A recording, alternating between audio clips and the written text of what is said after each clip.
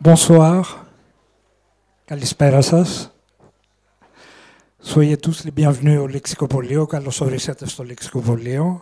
Ce soir, pour la troisième fois, nous avons le plaisir d'accueillir Jimmy Jamar et Michel Politis à l'occasion de la parution du troisième livre de Jimmy, La deuxième chance, chronique européenne 2016-2017. Cher Jimmy, cher Michel, Fili, bonsoir, soyez les bienvenus. Merci encore une fois.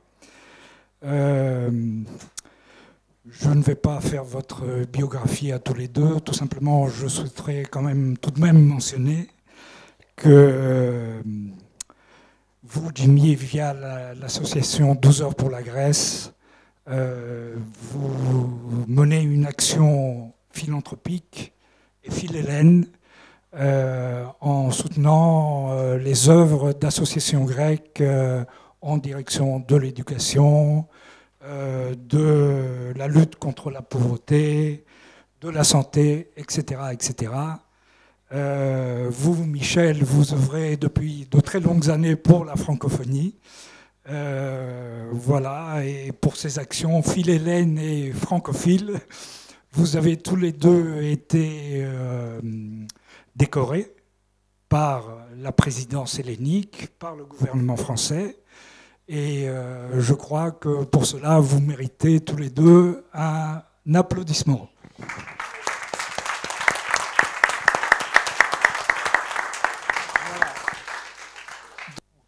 la parole est à vous deux. Michel? Ok, Michel. Voilà. Bonsoir à tout le monde. Monsieur l'ambassadeur, euh, bienvenue. Euh, monsieur l'ambassadeur aussi. Et mes chers, amis de Folegandros, euh, chers étudiants du master d'Athènes, de l'Université d'Athènes, qui sont venus assez nombreux pour euh, assister à cette conférence. Aujourd'hui, je suis, euh, je, vais faire pour la troisième fois, comme a dit Yanis, une présentation d'un livre de Jimmy. Pour moi, Jimmy, c'est quelque chose de très euh, d'intime. C'est un ami, un ami profond, que j'ai fait la connaissance à Folegandros. Et j'insiste sur cette île parce que c'est une île magnifique, mais aussi magique. Elle arrive à unir les gens, les garder ensemble et, de travailler ensemble.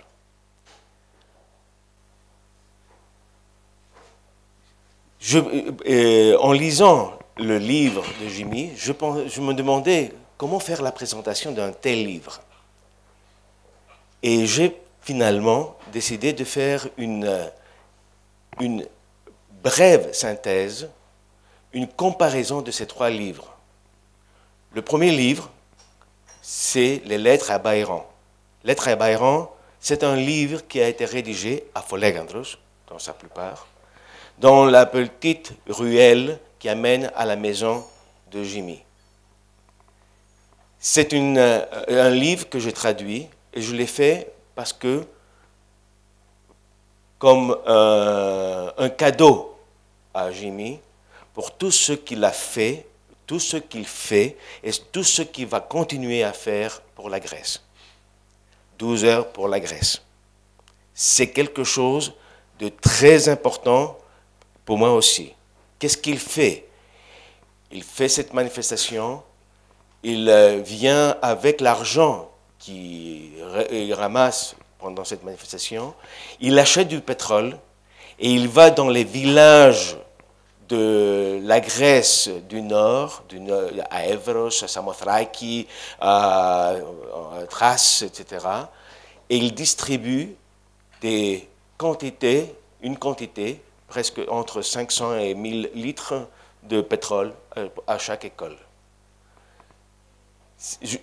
moi, je suis juste un enseignant de l'université. Je suis, je suis rien de plus que ça.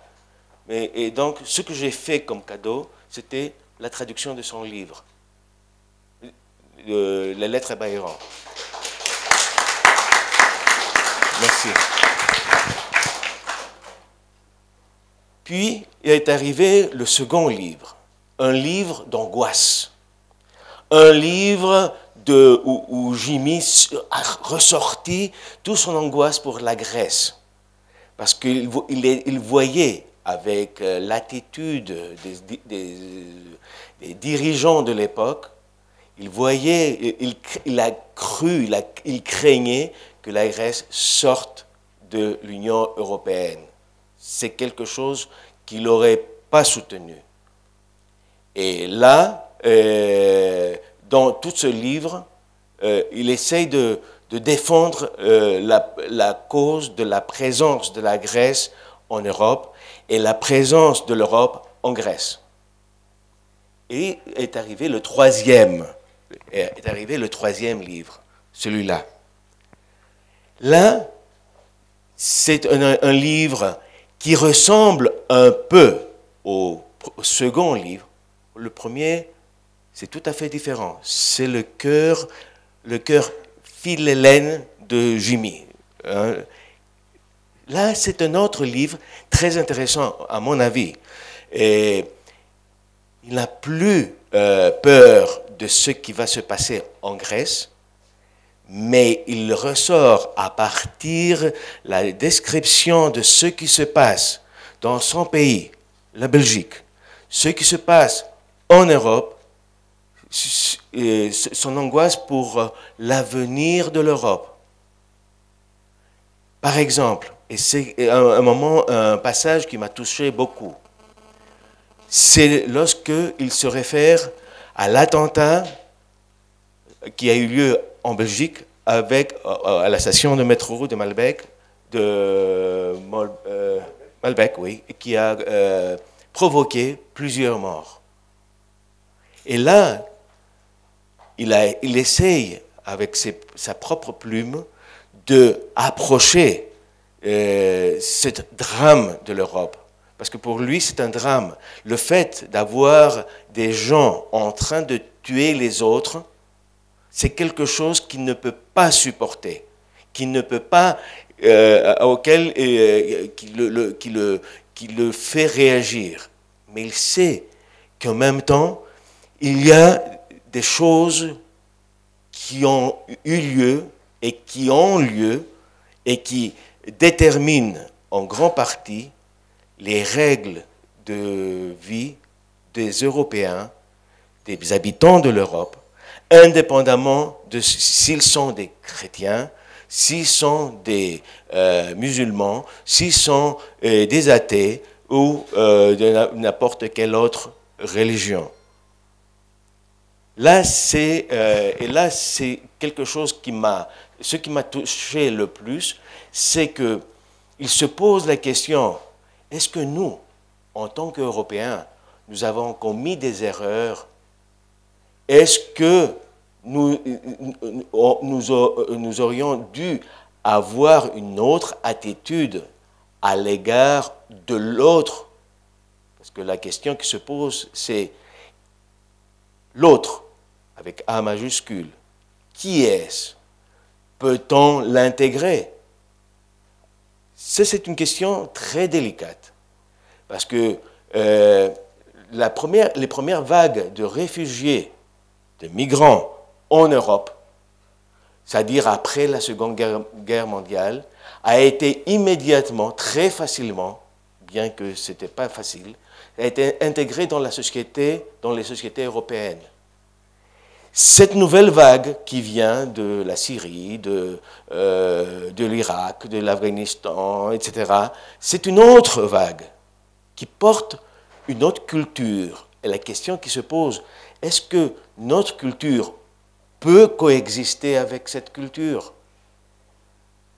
Et la, la première réaction instinctive de Jimmy serait de dire oui, mais bien sûr. C'est aussi la mienne. Mais j'ai euh, relu le passage et j'ai remarqué qu'il a réfléchi, qu'il avait voulu dire aussi quelque chose d'autre. Est-ce que nous avons commis des erreurs pour amener les gens à agir ainsi? Je ne sais pas, c'est Jimmy qui va nous parler de ça.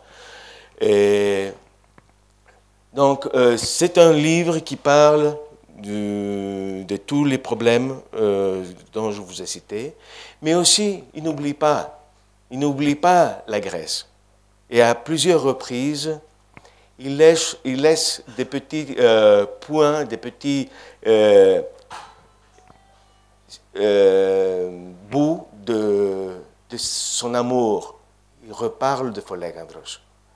Pour lui, le Folegandros, c'est quelque chose de très important.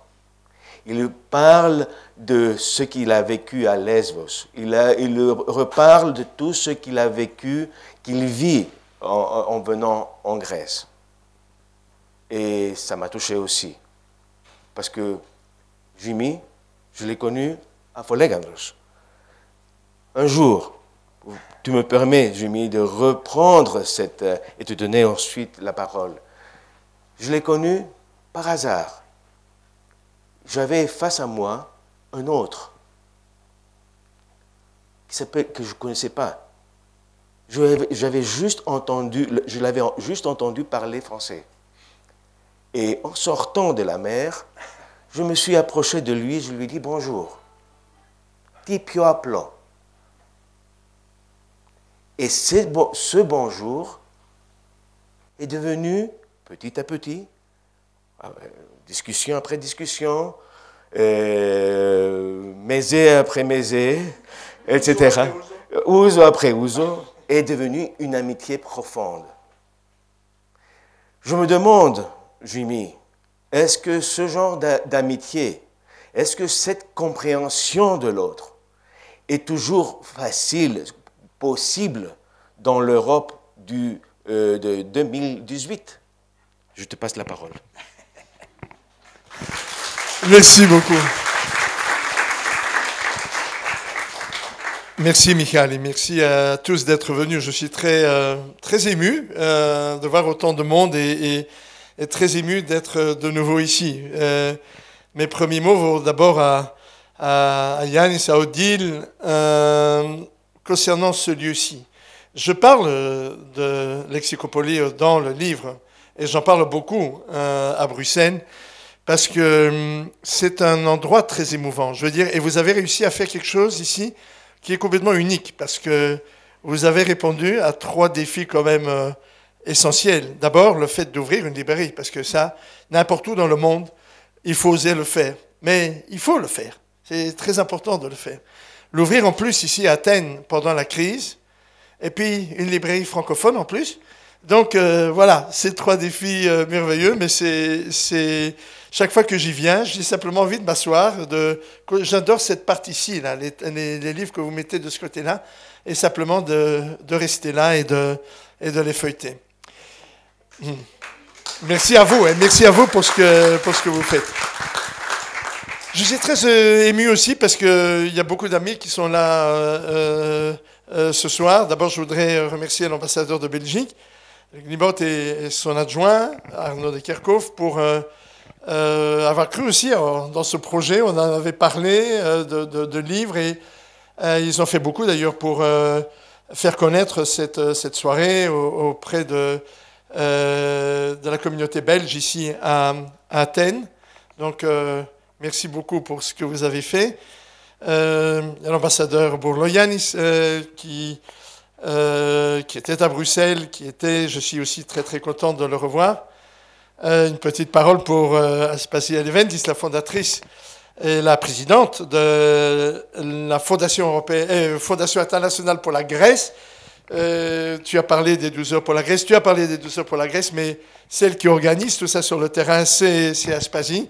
C'est avec elle que nous organisons et elle est venue ce soir avec un de vos grands chanteurs, euh, Vassilis Lekas, que je suis très heureux de, de, voir et de revoir et qui était venu chanter aux 12 heures pour la Grèce euh, il y a deux ans à Bruxelles. Frère, ils sont pas les Vassilis. Et dans les, évidemment, dans, tous les amis, et je ne vais pas les, citer tous, bon, il y a aussi effectivement le groupe de Follegandros, il y a Johanna, mon épouse, parce que euh, c'est elle qui doit supporter aussi le fait que j'écrive euh, le soir. Et puis, bien sûr, il y a mon ami euh, Michalis, mon vieux complice. Enfin, lui, c'est le complice et moi, c'est le vieux. Mais c'est, disons, c'est très important aussi de, de, l'avoir aujourd'hui, ce soir. On va parler d'Europe. et on va le faire au travers de, de ces chroniques. Alors, chronique, c'est quelque chose. Je ne vais pas faire un, long discours sur les idées ou sur où va l'Europe. On va en parler. Mais l'histoire de faire des chroniques est une chose intéressante à double titre. D'une part parce que ça oblige euh, le soir ben, d'aller se, se, retirer pendant une demi-heure et puis euh, de se dire, bon, qu'est-ce qui s'est passé aujourd'hui? Euh, Qu'est-ce qui t'a marqué aujourd'hui? C'est une manière de, disons, d'apprécier la vie et euh, de, de, quelle rencontre, qu'est-ce qui s'est passé dans le monde? Et comment tu relis ça un petit peu à ton histoire de l'Europe? Et puis une chronique, c'est aussi une manière, et c'est intéressant sur ces deux années-là, de voir l'évolution d'un projet, euh, voir est-ce qu'on a des, des, sensations intéressantes, est-ce que, sur, est-ce que quelque chose se passe ou pas, euh, et vers où on va? Et parfois on se trompe complètement, euh, parfois, en disant les choses qu'on pressent euh, se réalisent. Et notamment, j'ai, j'ai relu là, ce que j'avais dit une interprétation du, du, livre sur euh, la crise grecque. Et en fait, euh, en fin de compte, je vois que je ne me suis pas tellement trompé et que euh, je suis heureux de voir aussi que, effectivement, la Grèce est, toujours là. Et nous sommes toujours euh, ici en, Grèce. Je vais donc parler très rapidement un petit peu de ces, de ces deux années, parce que ce sont deux années qui ont, je pense, marqué assez fondamentalement l'histoire du projet européen. Et je vais commencer par, disons, ce choc que fut euh, le Brexit. Et le Brexit fut un choc, à mon avis, pas tellement le résultat du vote. Il n'était pas celui qu'on aurait voulu avoir. Je pense que beaucoup de Britanniques euh, aujourd'hui repensent un petit peu à ce qu'ils ont, euh, à la manière dont ils, ont, voté. On peut en parler après si vous voulez.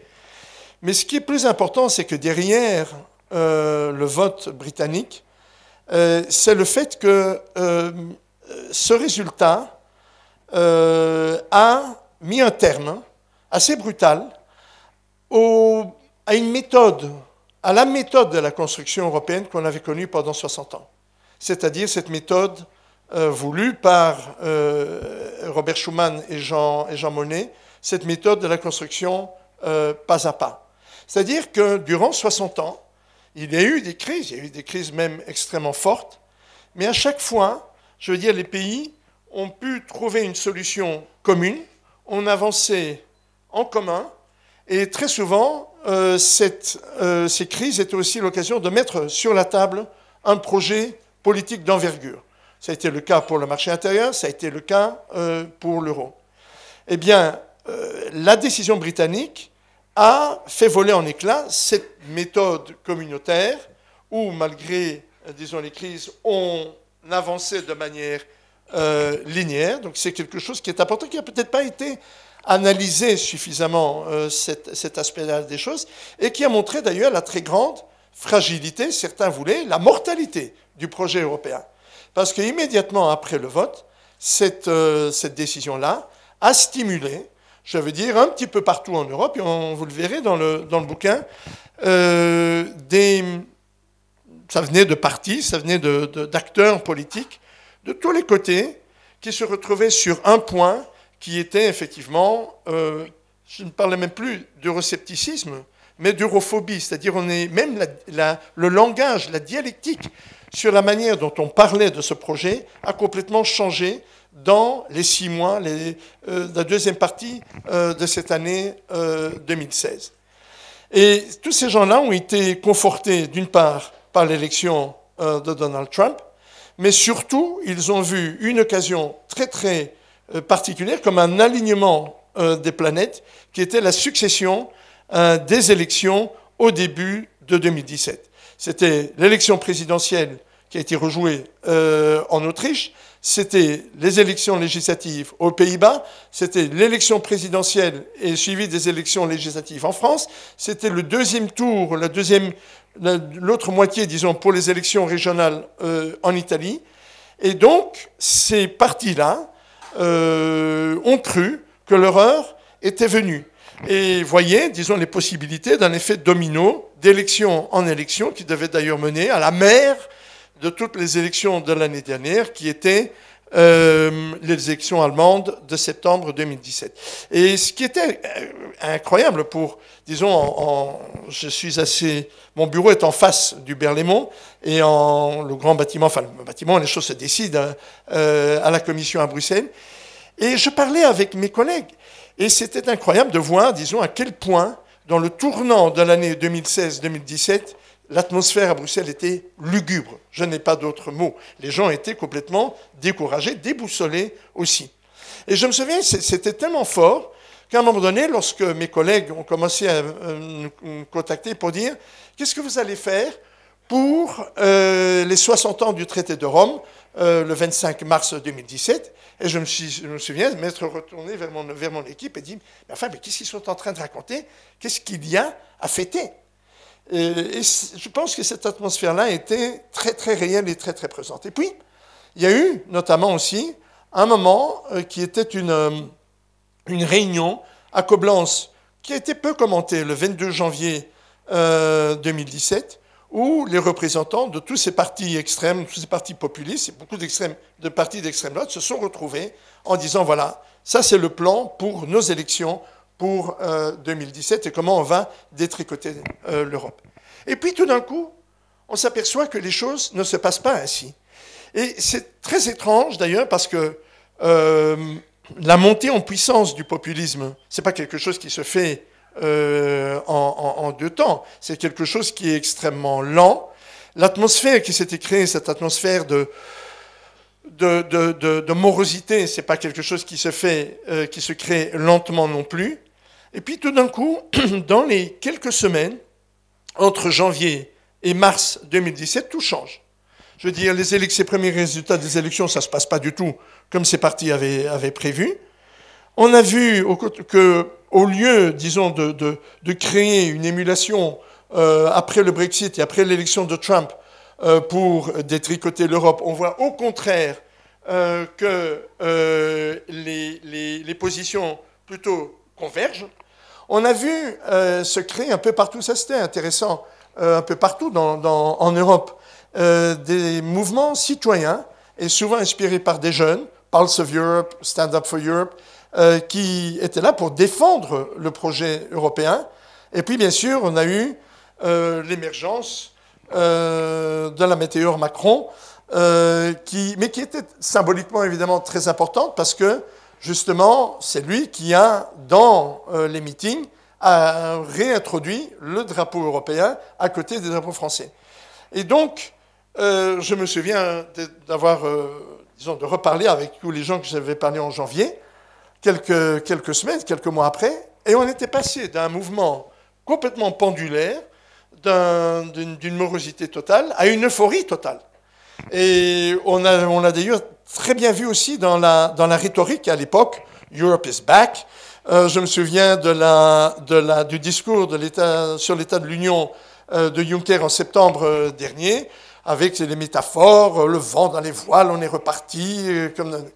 Et j'allais vers ces gens et je leur disais, mais avec, chez mes collègues, mais j'ai dit, mais qu'est-ce que vous êtes en train de dire? Je veux dire, il y a quelques, quelques mois, euh, vous étiez tous euh, complètement déprimés. Maintenant, vous êtes complètement euphoriques. Mais les problèmes, ils n'ont pas, pas disparu comme ça. Et effectivement, on a vu dans les élections en Allemagne, dans les élections en République tchèque, dans les élections en Hongrie, et on le voit surtout maintenant dans les élections euh, italiennes, que disons, le, le, les risques pour le projet européen sont absolument immenses. Alors, qu'est-ce qu'il faut? Je dirais, il faut un projet. Il faut remettre un projet politique sur la table. Nous n'avons pas eu un vrai projet politique sur la table depuis 30 ans, depuis euh, le moment de, l'or et où il y avait effectivement ce, type de projet euh, relativement régulièrement. Il faut un projet politique, il faut que ce projet politique intègre, je dirais, les trois euh, piliers qui sont importants à l'heure actuelle c'est le pilier de la protection, le pilier de la sécurité et le pilier de la voie de l'Europe dans le monde. Si nous réussissons à mettre ce projet sur les rails, euh, je pense que nous avons une chance justement de saisir cette deuxième chance dont je parle. J'ai choisi le titre exprès parce que Jean-Claude Juncker, en arrivant à Bruxelles, euh, a utilisé, a parlé, vous en souviendrez peut-être, de la commission de la dernière chance. Je trouvais ça un peu imprudent parce que, de toute façon, il y aura une commission qui va succéder à la, commission actuelle. Mais cette histoire de la deuxième chance, c'est qu'il y a à l'heure actuelle un enjeu qui est absolument euh, fondamental. Et pour deux raisons. Il y a deux, choses qui sont... Le premier qu'il faut traiter, et c'est pour ça qu'il faut un projet, c'est la désaffection des gens par rapport au projet européen. Euh, cette désaffection est réelle. Euh, j'en ai déjà parlé auparavant. Je pense que, c'est pour ça que tu disais aussi, il a une remise en question. Euh, il faut une remise en question. Pendant, je pense, 60 ans, les gens ont, ne comprenaient pas très bien comment ce truc marchait. Mais moi, parfois, je ne comprends pas comment, disons, toute la gouvernance européenne, c'est très, très compliqué. Mais quelque part dans leur tête, je veux dire, les gens avaient l'impression que ce projet les protégeait, cette idée de protection. Et dans la crise qu'on a connue, euh, la crise financière de la fin euh, de, la, de, 2008-2009 était une crise mondiale, mais la crise économique qui a suivi était essentiellement une crise européenne. Et durant cette crise, je pense qu'il y a eu un transfert euh, assez fondamental dans l'imaginaire des gens où le mot protection a été remplacé par le mot austérité. Ce n'est pas en Grèce, d'ailleurs, que je dois euh, souligner, disons, ce passage. Alors j'entends parfois des collègues euh, à Bruxelles qui me disent oui, mais c'est pas grave, il suffira d'un point de, ou un demi-point euh, de croissance pour ramener tout le monde. Ça ne se fera pas comme ça. Je veux dire, les gens qui sont partis ne reviendront pas, et c'est pour ça ne peuvent revenir que si il y a un projet crédible dans lequel ils peuvent croire. D'où l'urgence, je pense, de ce projet politique. Qui va le porter? Je ne sais pas. Euh, j'ai plutôt, enfin, j'ai une idée. Euh, dans les circonstances actuelles, il y a quelqu'un qui piaffe d'impatience. Il est basé à Paris. Il a attendu sagement euh, les élections allemandes. Il a attendu qu'il y ait les élections en Allemagne mais on sent très bien que à l'heure actuelle, je pense que c'est le seul qui peut, je veux dire, prendre le, taureau par les cornes et mettre ce projet politique sur la table. Il y a une deuxième raison, évidemment, à l'urgence, c'est euh, le retour fracassant de la géopolitique. Alors là, c'est quand même aussi quelque chose qui est incroyable, parce que je me souviens très bien de l'atmosphère générale euh, il y a une trentaine d'années, euh, la chute du mur de Berlin, la chute du communisme, et cette espèce d'euphorie qui avait gagné tout le monde, Fukuyama, la fin de l'histoire, toute cette, chose que, disons, rien de nocif pouvait nous arriver. Et tout d'un coup, on se retrouve devant une situation d'ailleurs qui est, sur le plan géopolitique, complètement inédite. on connaissait en Europe, disons, les, les menaces. Les menaces de l'Est sont bien connues avec des armes d'ailleurs relativement nouvelles, cyberattaques et autres. Donc, vous avez des gens là qui interviennent dans chacune des élections. Euh, ça commence par la Russie. Et puis, vous connaissez euh, mieux que n'importe qui d'autre, disons, les menaces qui peuvent venir euh, du, côté, du côté de la Turquie. Mais ce qui est évidemment complètement nouveau, c'est que on, on, se retrouve avec, je ne dis pas des menaces, mais avec une confusion totale euh, dans euh, nos relations, évidemment, avec euh, les États-Unis. Je ne sais pas si vous avez vu l'escalade, disons, des mots depuis une semaine dans la, dans la, la, relation. il y a eu, la semaine dernière, avec sa chapelle, la remise du prix Charlemagne à Emmanuel Macron. Merkel a eu des mots extrêmement forts. Ce n'est pas la première fois, d'ailleurs, elle, le répète depuis à peu près six mois en disant pour la première fois, nous ne pouvons compter que sur nous-mêmes. Juncker a ajouté en disant euh, si les États-Unis ne veulent plus de nous, c'est-à-dire, vous n'en dites pas là, s'ils imposent les tarifs sur l'acier et on va euh, trouver des solutions alternatives. alternatives. Euh, et puis il y a eu hier la déclaration de Tusk qui était quand même assez euh, fondamentale avec euh, des amis pareils. pourquoi est-ce qu'on a besoin d'ennemis? Je veux dire, c'était quand même quelque chose qui était complètement impensable, même il y a quelques, quelques semaines ou quelques, quelques mois. On est dans cette situation. Et c'est pour ça que je parle de deuxième sens et qu'il y aura peut-être une suite à ce bouquin, donc je reviendrai peut-être l'année prochaine, mais on est dans ce moment absolument crucial qui sera un moment de décision et où quelqu'un doit prendre l'initiative. Donc je ne suis pas ni pessimiste ni optimiste. J'essaie d'être réaliste dans une manière, disons, d'approcher euh, et d'essayer de comprendre ce qui se passe à l'heure actuelle. Euh, je pense que, disons, l'urgence, elle est là, et que si nous ne saisissons pas cette deuxième chance-là, je ne sais pas très bien à ce moment-là où ira ce projet. Peut-être il faudra se rendre à l'évidence que ce sont finalement les peuples européens qui n'en veulent plus. Voilà ce que je voulais dire maintenant. Maintenant, je, serai très heureux, évidemment, de discuter, euh, de discuter avec vous. Je vous précise aussi, d'ailleurs, et je le dis d'ailleurs dans le bouquin en, très grand, euh, ce que je dis ne reflète pas nécessairement les positions de la Commission européenne. Je me considère comme un citoyen européen qui a la chance et le privilège de travailler dans les institutions européennes. C'est une chose et un travail qui est absolument euh, passionnant. Donc je suis un citoyen fonctionnaire ou un fonctionnaire citoyen euh, mais j'essaie, comme tout le monde d'ailleurs, d'essayer de comprendre, disons, les mouvements de fond qui sont en train de secouer euh, ce continent.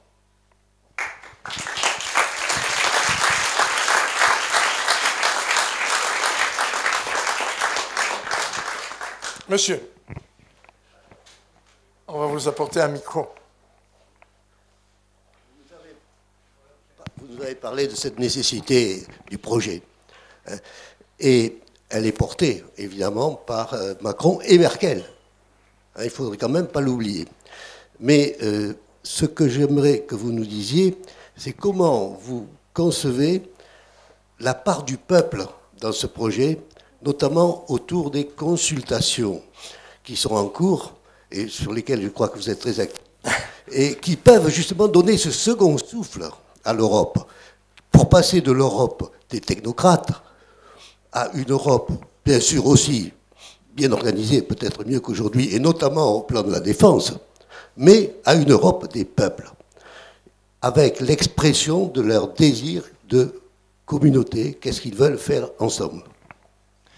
Alors, je réponds sur les deux questions en fait, parce que vous avez dit donc Macron et Merkel. J'espère que ce sera Macron et Merkel. Je pense qu'il y a, évidemment, on le voit dans tous les jours et dans les réactions des uns et des autres, il y a un peu d'agacement du côté de l'Allemagne par rapport à l'activité euh, euh, euh, trépidante du, président français. En même temps, il y a, je pense, une constatation que euh, effectivement, pas, il faut aller au-delà de ce petit agacement que l'on entend euh, de temps à autre. Et cette, euh, cette, convergence peut se faire, à mon avis, autour justement de ce que Merkel, de, de, de, de la situation par rapport aux États-Unis. Parce que c'est assez, c'est assez, disons, la réaction, la première qui a parlé effectivement de cette, du fait que nous sommes seuls et que nous devons décider seuls, c'est elle. Et ce qui s'est passé, justement, cette accélération dans cette crise transatlantique que nous allons et qui va, qui va continuer, parce que je, suis, euh, je ne suis pas très optimiste pour ma part euh, quant, au, quant, à la situation sur euh, les, tarifs, les tarifs sur l'acier et l'aluminium. Si ça arrive, il y aura une guerre commerciale. S'il y a une guerre commerciale, Là, nous allons vers quelque chose, euh, vers quelque chose de, lourd. C'est intéressant aussi dans la réponse de, Macron, d'ailleurs, où il a parlé, disons, de la nécessité d'assurer notre souveraineté ici en Europe, en disant que si nous ne décidons pas nous-mêmes, euh, d'autres vont décider pour nous, notamment les États-Unis. Donc c'est assez intéressant cette évolution euh, du langage. Mais je vous dirais aussi que si Merkel n'y va pas, je pense que Macron, je ne serais pas surpris que Macron y aille seul. Et Macron est en train de tisser euh, je dirais, une, à mon avis, je le vois opérer, une, notamment à travers ses consultations euh, citoyennes.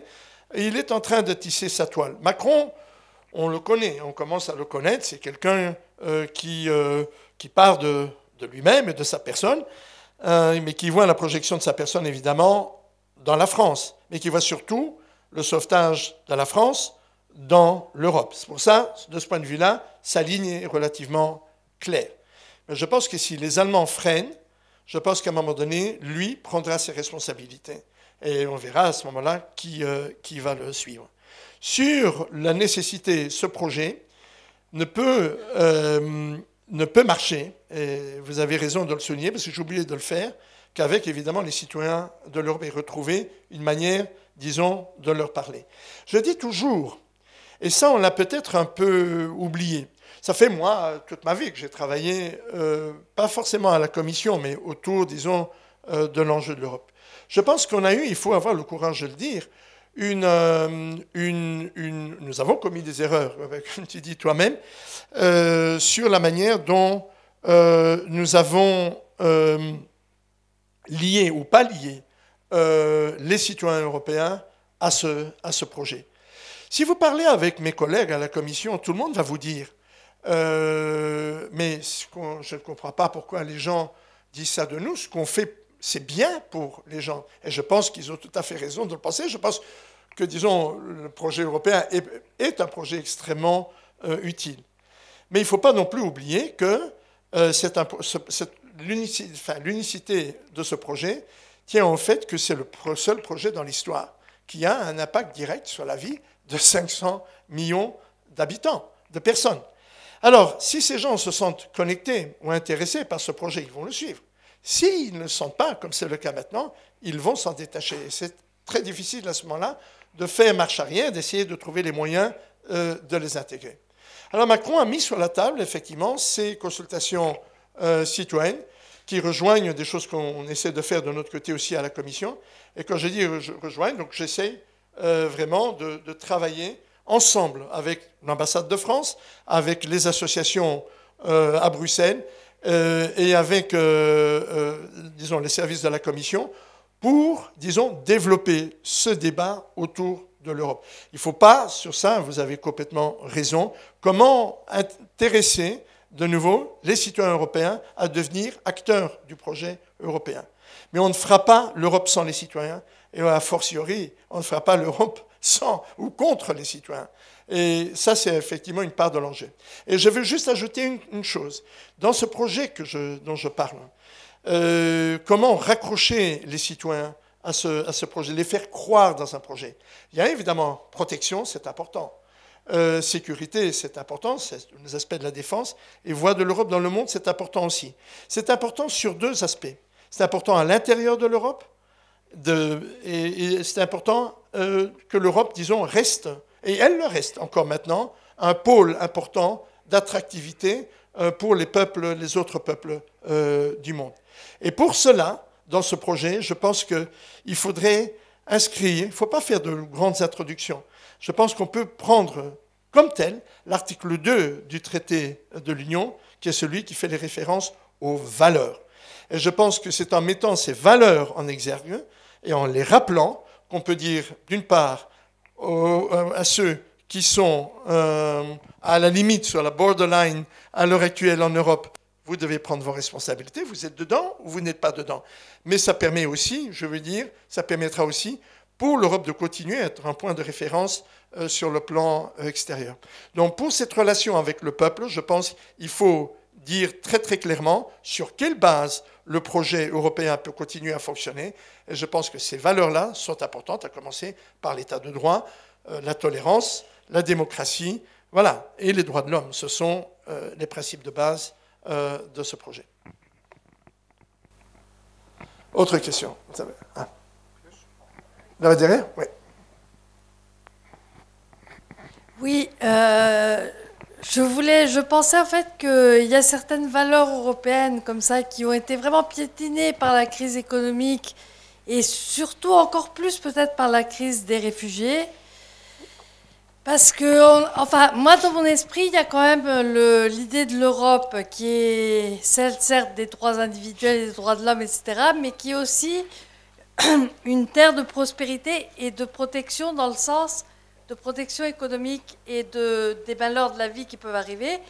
C'est-à-dire, je pense que c'est une valeur ajoutée de l'Europe, que l'Europe, au lieu de se lancer à une concurrence effrénée avec toutes les, les, puissances économiques mondiales, bon, on est obligé d'être efficient, etc., c'est tout à fait d'accord, mais je vois, disons, l'aspect social que l'Europe est en train de perdre, alors que le problème n'est évidemment pas euh, la protection sociale, mais l'immense augmentation dans le monde, pas dans l'Europe, des inégalités euh, qui ne seront plus longtemps acceptées par les peuples. Donc ce modèle a été rejeté aussi bien aux États-Unis, aussi bien en Angleterre, d'une façon erronée, mais c'est une réaction aux inégalités qu'il y a, au manque de générosité qu'il y a par rapport aux réfugiés, c'est pareil. C'est scandaleux que le niveau qu'on a en Europe, même le niveau de la Grèce actuelle, du grec actuel à 480 euros ou à 680 euros, c'est scandaleux que l'Europe de tant de millions d'habitants ait peur de, je ne sais pas, 5 millions de réfugiés qui partent des pays qui sont détruits. C'est scandaleux. On parle de peur du terrorisme, etc. Euh, il faut du contrôle dans toutes les questions sociales j'ai beaucoup admiré la Belgique à ce sujet, parce qu'il y avait, c'était un des derniers pays européens, je pense que ça change un peu maintenant, qui gardait une grande sécurité sociale et pour tout le monde, mais en même temps assorti d'un contrôle policier, euh, enfin policier, informatique, etc. important. C'est-à-dire que si on trichait, on risquait d'être puni euh, euh, lourdement. Donc c'était très bien, j'ai trouvé ça bien. Et voilà, enfin, je pense qu'on doit retrouver certaines valeurs pour, ne, voilà, pour continuer ce projet qui est très bien. Merci pour votre question. Je veux dire, je voudrais juste dire, ce n'est pas un projet simple. Je vais dire, les situations auxquelles on a été confronté ne sont pas des situations simples non plus. Ce qui était d'ailleurs un peu... Euh, euh, euh, je me souviens très bien des, déclarations lorsque Juncker est arrivé à la tête de la Commission, avec, disons, des, promesses et des, priorités très honorables de faire moins, de faire mieux. Et tout d'un coup, on se retrouve avec une situation de multicrise qui, chacune dans son domaine, était des choses, des crises d'une ampleur sans précédent. D'abord, la crise économique, c'était quand même euh, la plus grande crise économique depuis 1929, qui a révélé d'ailleurs les, les, failles de l'union économique et monétaire, que l'Europe n'était pas tout à fait préparée non plus euh, pour euh, euh, répondre à la crise de l'euro, que l'euro était, était, fragile, et panique dans les capitales. Chacun, on a vu chacun essayer de tirer la couverture à soi, comme on voit dans ces situations-là.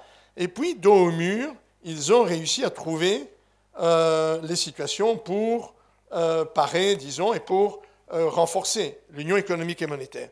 Mais l'Europe n'est pas, justement, qu'une euh, enfin, qu'une union économique et monétaire. C'est ça justement. Euh, euh, après ça, vous avez eu immédiatement après, et sans répit, effectivement, l'arrivée de 5 millions de personnes. Extrêmement difficile aussi à savoir, et on a vu là aussi les pays adopter très très rapidement des stratégies très différentes. Et toute la première partie du bouquin d'ailleurs en parle. Et la Grèce s'est retrouvée complètement coincée avec 50 c'est 50 000 réfugiés ici qui ne savent pas où aller, qui ne sont pas dans le processus euh, de l'accord avec la Turquie. Euh, voilà, on est avec des situations, et très souvent, euh, des drames humains.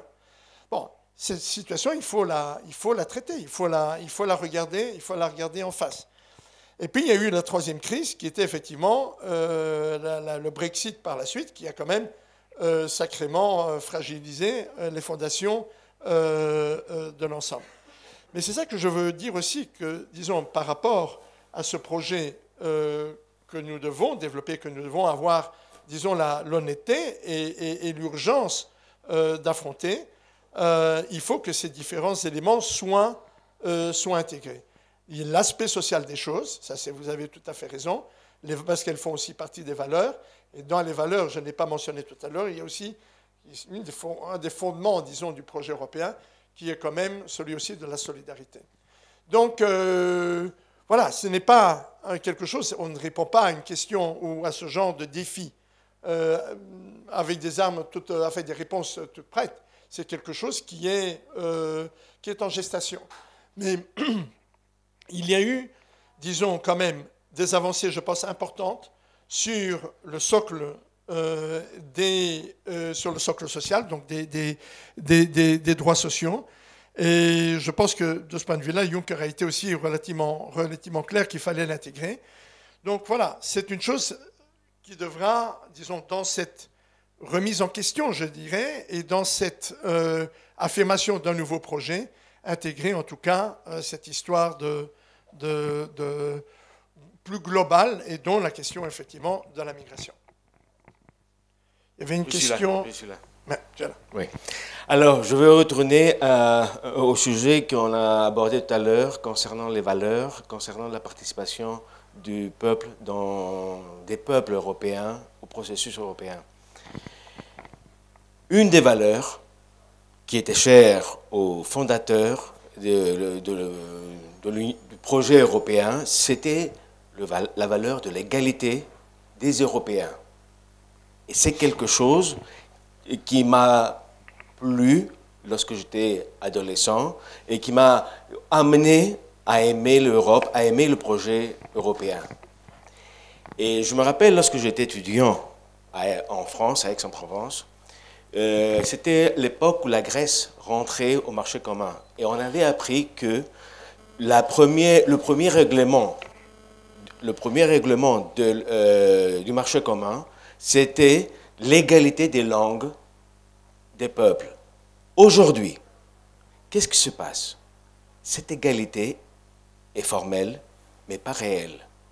Ce qui fait que les gens, étant donné que vous, je, tu me permets de, je ne m'adresse pas à toi en mm. tant que responsable, mais à la Commission. C'est surtout la Commission et aussi aux autres instances européennes au lieu de, euh, soutenir euh, cette pluralité, cette égalité dans la pluralité des langues, le multilinguisme, qui va permettre aux gens de participer activement. Parce que si on ne comprend pas, ou bien si notre euh, anglais est pauvre, on ne va pas pouvoir participer et on va se sentir mal à l'aise. Et là, je voudrais euh, ton opinion concernant euh, l'action de la Commission des instances européennes concernant le multilinguisme. Je vois un recul, un recul qui blesse, qui blesse euh, les gens. Et quelque chose d'autre avant de donner, euh, de passer la parole. Ici, est-ce que nous sommes en train de parler en anglais? Non. C'est une fête de la francophonie. C'est une fête du plurilinguisme. C'est la fête de la diversité dans le respect des peuples. Mais ce genre de réactions ne sont pas aussi nombreuses. Et on aurait bien voulu avoir le soutien des instances européennes à des initiatives de, en faveur du plurilinguisme. Depuis que Madame, euh, la, euh, Madame Vassiliou était responsable des affaires du plurilinguisme, malheureusement, euh, ce n'est pas le cas. Je ne suis pas aussi pessimiste que toi. Et je, je le vois. En tant qu'enseignant enseignant à l'université, enseignant la traduction, je ressens très fort. Mais je suis d'accord avec toi, mais je, suis pas, je ne suis pas aussi pessimiste que toi. Ah, Dans le sens où, euh, d'abord, une chose, euh, le projet d'Union européenne est le seul projet qui a effectivement 25 langues officielles. Par la force, et ces 25 langues, disons, sont des langues officielles de, de l'Union. Ni l'ONU, ni les autres instances internationales n'ont effectivement, euh, euh, ce qualificatif-là. Je veux dire, le maltais euh, est autant une langue officielle que le letton, que l'anglais ou le, ou le français. Mais il y a eu effectivement, ça, il faut pas le. Et cette question que tu poses, elle est de nouveau sur la table, avec évidemment dans le contexte effectivement du Brexit. Je pense que c'est un moment, et tu n'es pas le seul à faire cette observation-là, d'essayer de pousser pour euh, je vais dire, une reconnaissance euh, plus euh, automatique et, affirmative, disons, de l'égalité, de l'égalité des différentes, des différentes langues. Je l'ai senti moi-même. je travaille dans un pays qui a trois langues nationales, français, néerlandais et l'allemand. Et qu'est-ce que je vois? Si vous prenez les, pubs euh, à la télévision, que ce soit dans, la partie flamande ou wallonne pays, on termine toujours par le slogan, il est dit en anglais. Et de plus en plus, je le vois à Bruxelles aussi, la lingua franca euh, et l'anglais, parce que c'est plus facile. Je pense qu'il faut, effectivement, je ne suis, pas aussi pessimiste que toi sur euh, la pérennité de la diversité des langues, encore moins dans le contexte je dirais, de la, sortie euh, du, Royaume-Uni. Mais il faut effectivement euh, euh, que cet appel à cette, une plus grande prise en compte de la richesse du multilinguisme soit fait effectivement dans ce moment de préparation avant le, Brexit l'année prochaine. C'est une chose, c'est intéressant aussi ce que tu dis parce que très souvent, notamment lorsque je parle avec des collègues euh, du nord de l'Europe, que je travaillais avant, pas, dans mes fonctions, hein, mais je travaillais dans une équipe de communication dans différentes directions générales. Et c'était intéressant que les, euh, on faisait effectivement tout, on produisait tout dans l'ensemble des langues. Et les Scandinaves nous disaient chaque fois, mais moi, j'ai pas besoin. Hein. Les Suédois me disaient, j'ai pas besoin d'avoir ça en suédois. Et tu mets ça en anglais, et c'est très bien. Donc, euh, je pense qu'il y, aura probablement, j'espère, un retour sur cette, euh, sur cette question-là, parce que ça fait partie aussi d'une des dimensions, disons, dans l'avenir du projet. Euh, c'est toute la dimension aussi de la culture. Et les langues font partie effectivement d'une des, euh, un des substrats de, la, de, la, de, la, de l'affirmation de la culture européenne. Oui, bonsoir. je veux vous dire, je suis une Européenne convaincue et je me bats pour l'Europe. Bon, depuis dix ans, j'organisais au lycée franco-hellénique un tournoi de football pour la fête de l'Europe. Et à la fin, quand je remettais les médailles et la coupe, où il y avait l'école italienne, allemande, polonaise, euh, pas d'école anglaise, euh, notre lycée, euh, lycée grec. Et je leur dis aux élèves, vous n'avez pas connu la guerre. L'Europe, elle n'est pas parfaite, c'est vrai. Mais elle a au moins le privilège, je suis désolée de nous garantir la paix. Et personne n'en prend conscience en ce moment. Et c'est la vérité, elle n'est pas parfaite. Loin s'en fout. au point de vue social, certainement. Autre chose, c'est par les jeunes qu'on va apprendre à être européen. C'est pour ça qu'on a fait le jour de la fête de l'Europe au lycée, on a invité des ambassadeurs. Il y avait en face de nous une classe de l'école primaire. Et ils avaient préparé un texte pour donner aux ambassades pour qu'ils transmettent à leur ministre de l'Éducation nationale. C'est à l'école qu'on apprend à dire nous sommes européens. Quand ils sont à l'école primaire, eux, ils enregistrent, ils absorbent ça. Après, c'est trop tard. Je sais que c'est peut-être loin, mais euh, il faut absolument qu'ils aient conscience qu'ils sont européens, les petits. Et vous deviez savoir la question qu'ils ont posée. Arnaud était là, qui les préoccupait, surtout les petits Grecs, c'était la protection de l'Europe. Tu te souviens Par exemple, demander pourquoi on ne met pas des tanks autour de la Grèce contre la Turquie, pourquoi on n'a pas une armée européenne? Donc, ils sont préoccupés par la paix, les petits. Et ça, les gens, ils ne sont pas conscients que c'est grâce à l'Union européenne. C'est très difficile de trouver le point d'ancrage et le point d'accroche, mais je suis tout à fait d'accord avec, ce que, avec ce que vous dites. Euh, j'ai, euh, avec Johanna, nous avons deux fils. ils ont 24 et 22 ans. Et parfois, je leur parle, j'ai dit, qu'est-ce qui. donc, l'Europe, ça te dit quoi, etc. Et puis, je leur dis, ben, il y a la paix. Enfin, il n'y a pas de guerre. Et ils me disent, c'est quoi la guerre? Et puis, ça poursuit. Je dis, mais enfin, il y a Erasmus. Ah ben, dit oui, ben, d'accord, il y a Erasmus. Et ben, and so what? Ben, je dis, mais il y a euh, Schengen, enfin, les, frontières, tu ne dois pas passer. C'est quoi une frontière? Donc, je veux dire, euh, on a, on a peut-être loupé aussi cette connexion en disant, voilà, on de mieux expliquer, et notamment aux jeunes, euh, ce que ce qui est ce qu'est l'Europe et peut-être en comparaison ce que serait ce continent sans le projet euh, euh, euh, européen. C'est la question de la, de la, guerre et de la paix, avec ce que je disais tout à l'heure, dans un monde beaucoup plus dangereux. je pense que, disons, le fait de réaffirmer cette question-là est importante. le fait de s'adresser aux jeunes est une chose importante aussi. On vient de lancer la semaine dernière une, campagne. C'est la première fois que je vois une campagne euh, corporate, comme on dit, donc l'ensemble des services de la Commission euh, s'adresse aux jeunes. Et je le disais, et c'est via les valeurs. cette histoire des valeurs est quand même importante. là, ils se retrouvent sur des choses. On a lancé un projet qui s'appelait le Corps européen de solidarité. J'ai vu les gens adhérer à ce projet parce que malgré tout, qui sont dépositaires aussi d'un certain nombre de choses, notamment l'histoire euh, de la solidarité. Mais il ne faut pas penser qu'aux jeunes. D'ailleurs, j'ai eu un, c'est une boutade, mais euh, euh, j'ai dit à, celle qui est la personne, elle est chypriote, qui est devenue chef directrice générale pour l'éducation et la culture, qui est donc qui est grecque, et je lui dis, mais bon, Erasmus c'est très bien, mais peut-être il faudrait penser à un nouveau programme qui s'appelait Erasmus. Donc peut-être un Erasmus pour les personnes âgées, euh, je pense que ce serait peut-être pas plus mal puisque euh, nous augmentons en, nombre. Mais, l'histoire des valeurs, c'est une chose qui est importante parce que ça, c'est le lien que l'on peut, euh, que l'on peut recréer. D'autres questions? Oui.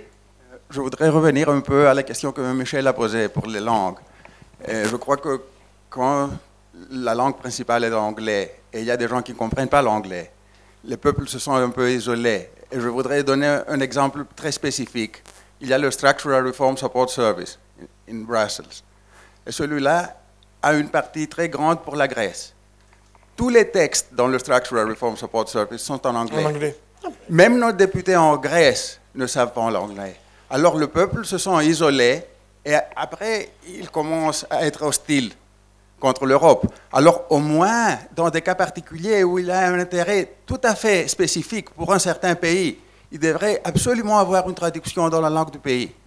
Parce qu'il y a en, théorie cette égalité des langues, mais, en pratique, ce n'est pas du tout comme ça. Et même le texte anglais, il dit texte original. Alors s'il y a une faute de traduction, alors on recourt à, l'anglais pour trouver l'opinion qui est vraiment celle qu'il faut choisir. Alors vous, avez, vous avez tout à fait raison.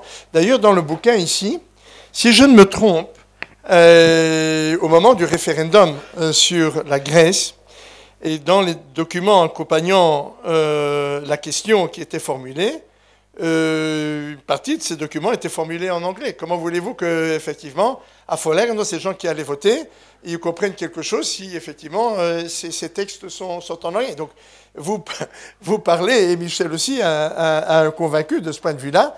Et de toute façon, par exemple, euh, nous-mêmes, donc, dans notre travail que nous faisons, même si, effectivement, ça nous coûte un peu, mais tout ce que nous faisons dans mon service, c'est fait automatiquement en, français, en, enfin en irlandais, en français et si possible en allemand. On n'a pas énormément de, moyens, mais cette, importance de pouvoir communiquer dans les langues et de ne pas prendre uniquement l'anglais est important. Que l'anglais soit une lingua franca pour que les gens puissent, euh, quelle, est la, langue au monde qui est, enfin, qui, qui, qui, qui est, une langue de communication est une chose. Mais je dirais, euh, je me souviens euh, je me souviens de, de, François Mitterrand notamment, au moment où il, était, au pouvoir, et où vous aviez quand même là un, chef d'État qui avait une certaine, qui pouvait imprimer euh, sa marque, y compris d'ailleurs euh, au, niveau, au niveau de l'Europe. Et je me souviens d'une conversation assez dure en disant, Mitterrand, même s'il avait un très bon ministre de la Culture, Jack Lang, Mitterrand a fait très peu pour la défense du français à l'époque. Euh, il y a eu ces périodes où l'anglais, on a laissé effectivement euh, l'anglais. Ben, on a une occasion peut-être pour euh, réveiller les énergies et, et, remettre, disons, dans un discours assez construit sur, disons, notre, notre projet européen, d'insister effectivement sur sa diversité culturelle et linguistique. Très bien. No more English. Monsieur. Alors, je voulais juste revenir sur la question des langues. Monsieur. Revenir sur les questions des langues. Nous étions au Collège d'Europe ensemble, non? Pas seulement au Collège d'Europe, mais. Je t'ai pas vu depuis, je t'ai pas vu depuis beaucoup d'années. Ça arrive. Hein. Mais c'est voilà. Dis-moi. Non, mais alors, je voulais justement appuyer ton point de vue concernant le fait qu'il ne faut pas vraiment être très euh, pessimiste dans ce qui se passe du point de vue langue au niveau, au niveau des institutions européennes, parce que je voudrais, ayant, ayant euh, connu le Parlement européen de l'intérieur, je sais vraiment très bien qu'un des principes de travail du Parlement européen, c'est justement le, le, travail en 25 langue, intégralement, à la fois euh, au niveau euh, oral, mais au niveau écrit. Donc il maintient des services vraiment très étendus qui coûtent effectivement beaucoup d'argent, c'est vrai, mais il ne veut pas faire des économies au détriment justement de, des langues. Ça, c'est donc je voulais, euh, disons, bien sûr, il y a une question d'efficacité parce qu'il faut pouvoir travailler au sein des services et il y a effectivement certaines langues qui sont plus utilisées que d'autres. Mais vis-à-vis du, citoyen, il y a, au moins, disons, au, Parlement européen que je connais très bien, euh, cette volonté de maintenir le multilinguisme intégral euh, avec toutes les langues sans discrimination. Je voudrais aussi euh, te poser une question parce que d'abord te remercier pour la description et l'analyse brillante que tu as fait de la situation, euh, disons, en Europe actuellement. Mais une question ponctuelle, comment Bruxelles voit actuellement ce qui se passe en Italie après les élections? Alors, bien sûr, on peut tous espérer, mais est-ce que tu peux nous dire un peu plus euh, à ce sujet, parce que les choses se passent les heures actuellement, les heures actuelles. Alors, Merci. Euh, sur les deux questions.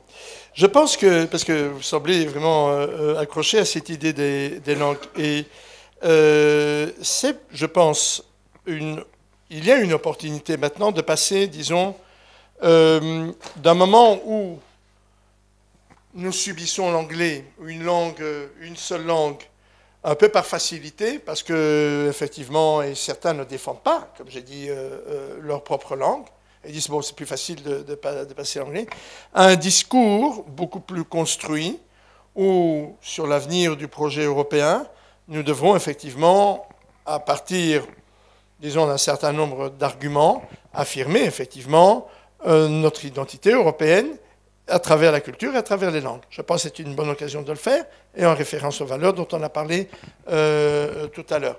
On dit toujours le slogan de l'Europe unie dans la diversité. Euh, cette diversité doit aussi s'étendre, je veux dire, effectivement, à la première chose qui est faite, c'est-à-dire à la faculté d'expression. c'est une occasion, c'est une occasion de le faire. Donc, je nomme, euh, je nomme Michel. Euh, non, mais c'est pas mais c'est pas une boutade parce que je pense que c'est quelque chose effectivement. Nous avons perdu cet élément-là de la référence, euh, voilà. Pour ce qui se passe en Italie, très compliqué, très difficile à dire ce qui va, ce qui va en sortir, et ça peut, peut aller dans, toutes les directions. Évidemment, certains vont, disons, en tant que tel, la situation est extrêmement préoccupante parce que par rapport effectivement euh, à ce que nous avions dit tout à l'heure, c'est la première vraie victoire d'un gouvernement populiste et extrême dans ces, dans ces différentes... Euh, donc extrêmement inquiétant aussi sur le choix et les options qu'ils mettent sur la table euh, et qui sont très très inquiétantes, notamment, disons, pour, dans la stratégie de Macron par rapport à l'Allemagne. Macron a dit à Aix-la-Chapelle, euh, il faut sortir du fétichisme euh, des, cette histoire de, disons de la, du budget et, et, des déficits en faisant référence effectivement que dans qui va, qui va porter son projet, la Belgique va s'accrocher euh, au wagon, le Luxembourg, l'Irlande et les pays du Sud dans un premier, temps. Et là, l'Italie, effectivement, avec euh, ces perspectives extrêmement euh, inquiétantes et probablement extrêmement réelles sur des dérapages budgétaires considérables, c'est une chose effectivement qui va poser beaucoup de questions, en particulier à, Berlin. Donc c'est inquiétant, oui. D'autres vont vous, vous raconter que, vous savez, l'Italie s'adapte toujours, que ceci et ça. Nous avons vu historiquement, c'est pour ça que le poids de l'histoire, on a tenu ces, arguments-là euh, il, y a, il y a 70 ans euh, euh, en Italie aussi par rapport à certaines, certaines déviances. On a vu ce que, ce que ça donné. Il faut être extrêmement vigilant par rapport à ça. Ce qui m'étonne, enfin ce qui, me, ce qui m'interpelle moi quand même là-dedans, c'est quand même notre incapacité globalement à convaincre je veux dire, euh, les peuples euh, de ne pas s'engager dans cette voie, ou que ces voies-là, en tant que solution, euh, sont extrêmement inquiétantes et très souvent tournent, tournent, en rond. Je veux dire, il n'y a pas de solution véritable. Nous l'avons vu d'ailleurs dans tous les arguments, de, disons l'année dernière, à travers le fil des élections qui, émaillent, qui émaillent le livre, que de ces partis-là n'arrivent pas de véritables solutions. Maintenant, ils risquent effectivement, ils vont se retrouver au pouvoir. On verra ce que ça va donner. D'où l'urgence hein, aussi, euh, d'un autre côté, de la réaction et l'urgence de ce projet, politique.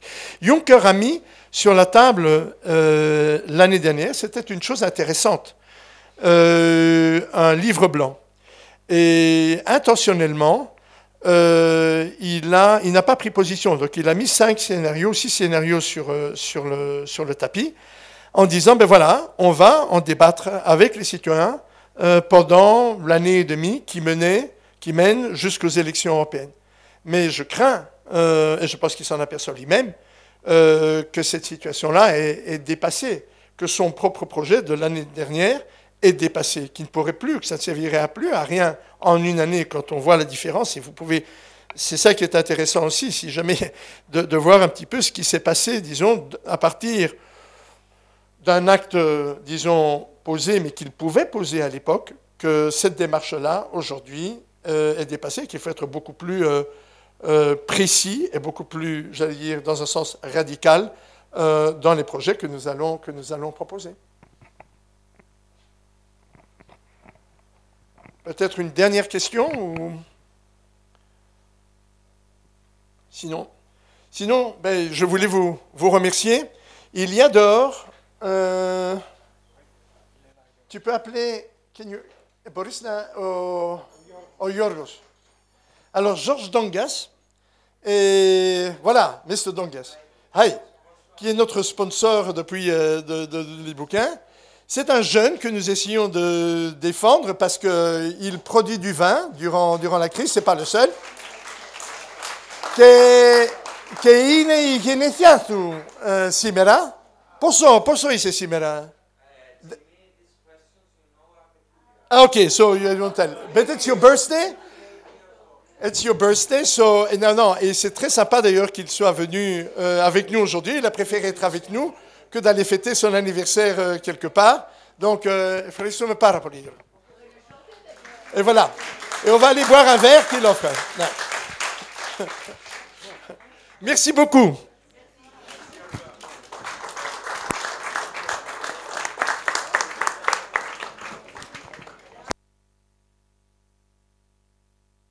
Encore dire une chose.